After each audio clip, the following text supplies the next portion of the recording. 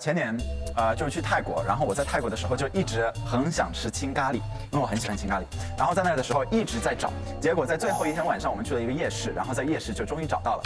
然后当时在吃的时候，我就在想，哎，味道有稍微什么稍微不太对，但是我反正就是想吃青咖喱，所以我还是把它吃下去。第二天早上，我有就很早就得就得去机场去呃坐航班回上海。然后那个时候我就呃就是坐上地铁，地铁刚关门，我就开始。有点不舒服。啊，最可怕这个。然后，然后你的屁股开始打，然后我在，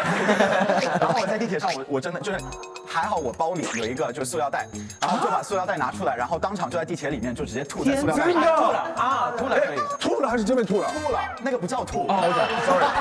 透明的塑料袋，透明的塑料袋，在那个时候挤满了，然后我开始吐，人家就散开了，然后我就我就在想，我我第二站我必须下车，我必须下车，然后曼谷的地铁站里面没有垃圾桶，是的，没有，也没有厕所，没有厕所，没有垃圾桶，所以我在那边我又不好意思把一个透明的塑料袋装着那些东西，把它就随便扔了。剩下的四十分钟到机场，到四十分钟一直就是一手带着这个塑料袋，就在那边。你没有包吗？你没有包吗？我不想放别的包里面，万万一它洒了怎么办？